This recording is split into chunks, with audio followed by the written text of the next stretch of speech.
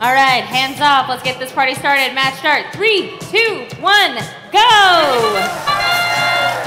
We've got five, no, six robots in autonomous mode. Robots slamming into the driver's station. 1410 is up on top of that charging station with plenty of time to spare. Driver, step forward, it's your turn.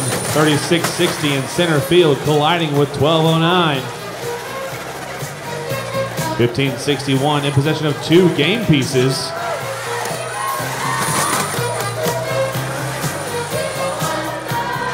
Thirty-six sixty, not currently moving in midfield. Fifteen sixty-one, trying to get lined up. They send one to the top. Oh, and it's stuck in position. Not quite where it needs to be on that upper row of the grid. 1209, trying to get possession of one of those game pieces, spinning it up.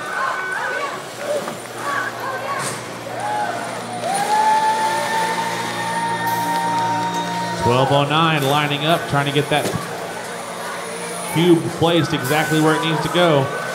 45-23 on the on the Blue Alliance, putting that cone on the upper row of their grid, trying to complete that link.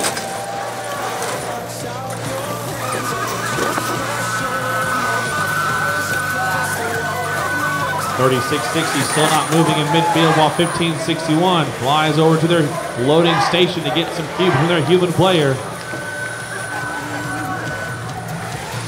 1410 from the Red Alliance lined up, depositing those cubes into their grid.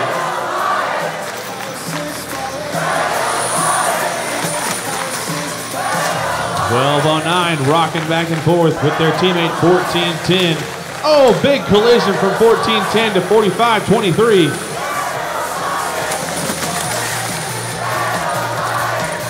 Fifteen sixty-one on the Blue Alliance side. That's the 30-second warning.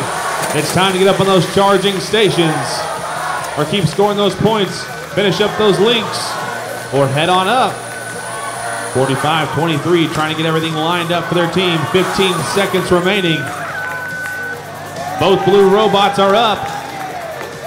12.09 and 11.08 trying to get everything lined up for their team. And 14.10 get up there with three seconds remaining without knocking off 12.09. 14.10 and 12.09 don't quite make it. We'll wait for our final scores. And States the win, 91 to 72.